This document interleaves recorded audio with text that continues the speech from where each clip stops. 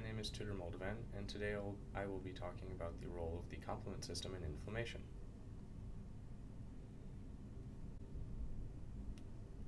Inflammation is part of the body's immune response of vascular tissues to harmful stimuli such as pathogens, damaged cells, or irritants.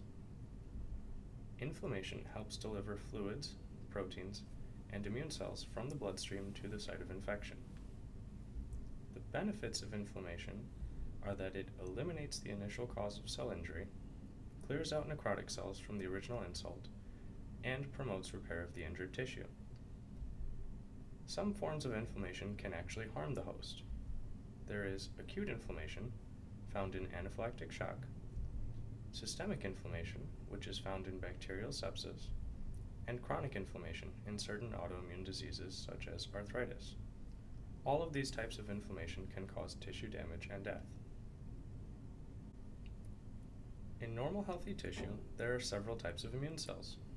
There are macrophages, which phagocytose pathogens, dendritic cells, which are the link between innate and adaptive immunity, and mast cells, which release inflammatory cytokines during allergic reactions.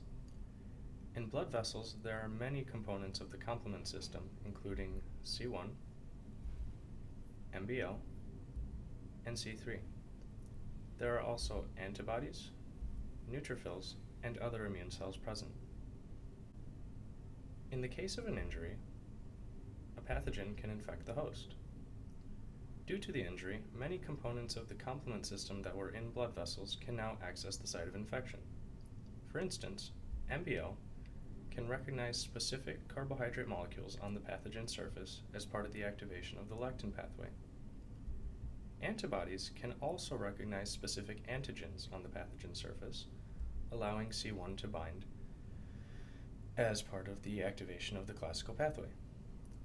C3 will also be present near the pathogen, and upon activation of either the alternative, lectin, or classical pathway, will be cleaved to generate C3b.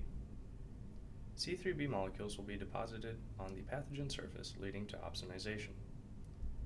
C3a and C5a, which are pro-inflammatory cytokines, will also be produced.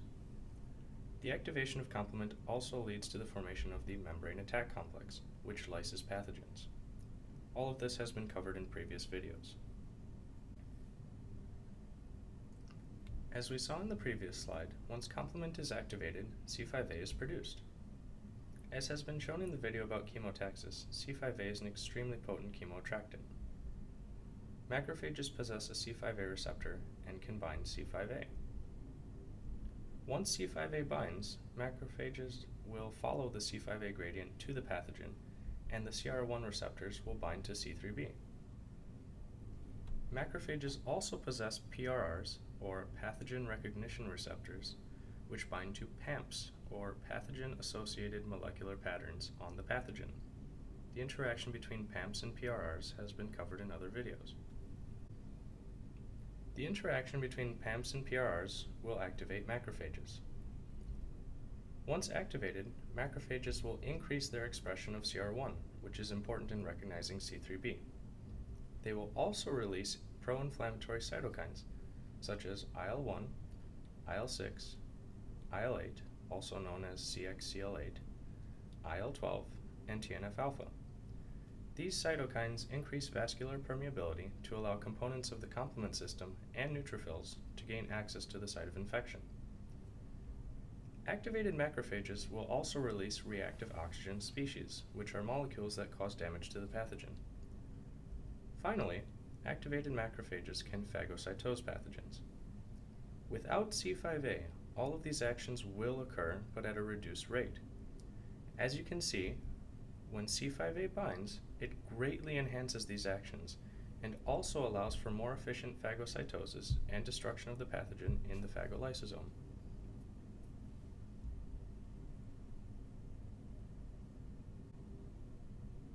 Mast cells also possess a C5a receptor. Upon binding of C5a, mast cells are activated and will release platelet activating factor, or PAF, histamine, and other pro-inflammatory cytokines. These molecules will activate endothelial cells to increase vascular permeability. The increase in vascular permeability allows fluid from blood vessels to enter the site of infection, leading to edema. The activation of endothelial cells also aids the chemotaxis of immune cells to the site of infection. The result of all of these actions is inflammation. IL 6 is produced mainly by macrophages during infection and can be released systemically. IL 6 will activate hepatocytes to produce and release several acute phase proteins. One of these is fibrinogen, which participates in coagulation to trap pathogens. Some acute phase proteins are part of the complement system, like MBL. Also, C-reactive protein is produced, which helps in the process of opsonization and classical pathway activation. C-reactive protein is the most important marker for the inflammatory response, such as in bacterial infections. Lastly, serum amyloid protein is produced, which is also an opsonin. Gram-positive and gram-negative bacteria have different cell wall components. Gram-positive bacteria have cell walls made primarily of LTA, or lipoteichoic acid, while gram-negative bacteria have cell walls made primarily of LPS, or lipopolysaccharide. LTA and LPS are both considered PAMPs. Macrophages utilize different toll-like receptors to recognize these cell wall components, with TLR2 recognizing LTA and TLR4 recognizing LPS. These TLRs are both considered PRRs. When these components are recognized by macrophages, the macrophages become activated and release inflammatory cytokines such as TNF alpha, IL 1, and IL 6.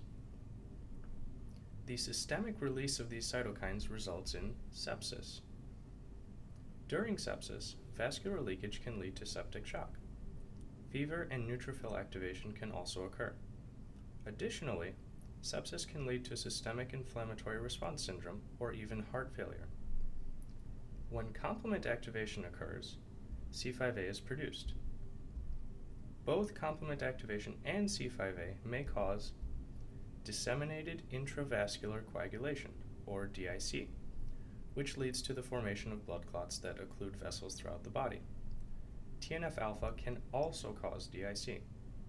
Systemic expression of C5a can therefore also contribute to sepsis. In summary, Complement activation, specifically C5a production, has many roles in inflammation. C5a activates macrophages and neutrophils for efficient phagocytosis, participates in chemotaxis, activates mast cells to produce pro-inflammatory cytokines, and is important in systemic inflammation such as sepsis. In addition, we have shown the role of IL-6 as a cytokine capable of promoting the acute phase response, leading to production of MBL, CRP, and other complement proteins during the process of inflammation. Thank you.